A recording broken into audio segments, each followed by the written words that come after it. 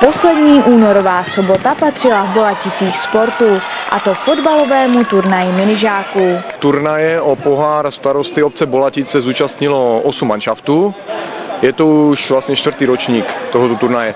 Zúčastnit se mohli všichni hráči narození po 1. lednu roku 2000. Vlastně probíhá turnaj těch nejmenších kluků, jsou to, je to turnaj starší přípravky.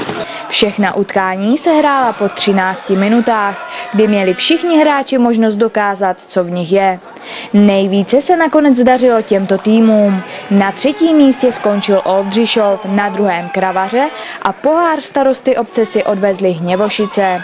Hraje se dneska o krásné poháry, která věno, které věnovala obec Bolatice a další vlastně sladké ceny, které potěší tady tyto nejmenší hráče. Přestože se jednalo o začínající hráče, již teď je jasné, že se zde najdou opravdu nadějní fotbalisté. Je vidět, že trenéři v různých týmech s těma klukama pracují a je vidět, že kluci se zlepšují jak po fyzické stránce, tak po té technické. Že jsou fotbalově na tom, dá se říct, čím dál tím líp. Z Bolatic Markéta Jeníková.